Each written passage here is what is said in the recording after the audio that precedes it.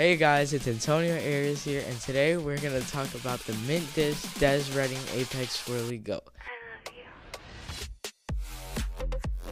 Shout out to everyone at Lucky Ace who sent me this goat.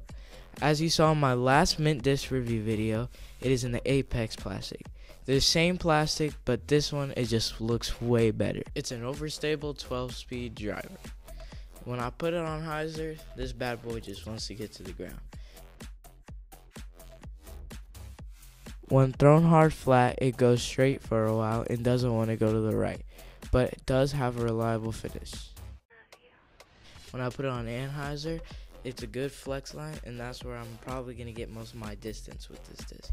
If you're an immediate to an advanced player, this will really fit well for your overstable driver spot. But if you're a beginner, it won't work as well for you, but it can be a really good uh, utility disc. If you want to get your hands on these swirly goats, you could check out my sponsors at luckyacedisc.com. I hope you guys enjoyed this video. Stay tuned for more. God bless.